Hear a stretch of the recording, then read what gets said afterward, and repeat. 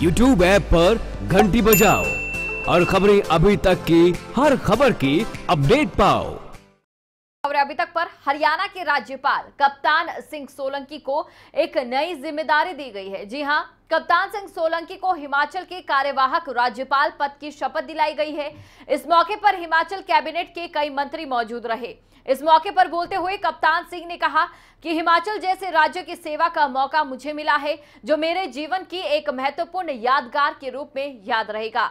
आपको बता दें कि हिमाचल के राज्यपाल आचार्य देवव्रत अमेरिका दौरे पर जा रहे हैं। उनकी गैर मौजूदगी में हरियाणा के राज्यपाल कप्तान सिंह सोलंकी हिमाचल राज्यपाल का कार्यभार देखेंगे।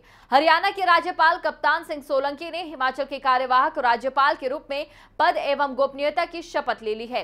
राजभवन में प्रदेश हाईकोर्ट के कार्यकारी मुख्य न्यायाधीश संजय करोल ने कप्तान सिंह सोलंकी को पद व गोपनीयता की ये शपथ दिलाई है। दिल्ली दौरे के चलते मुख्यमंत्री जयराम ठाकुर, राज्यपाल सोलंकी के शपथ ग्रहण समारोह में शिरकत नहीं कर सके। बताया जा रहा है कि राज्यपाल आर्य प्रतिनिधि सभा के बुलावे पर अमेरिका जा रहे हैं इस मौके पर और इस दौरे के द्वारा सारा खर्च भी राज्यपाल स्वयं वहन करेंगे।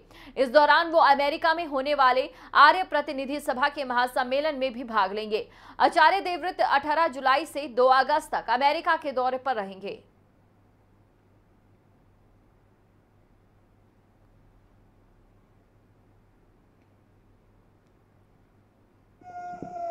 बहुत प्रसन्नता और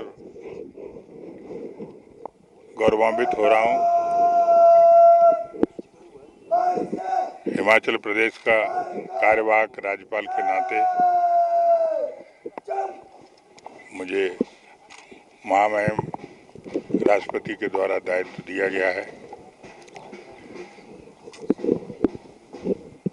हिमाचल प्रदेश यद्यपि छोटा राज्य है लेकिन बहुत महत्वपूर्ण राज्य है।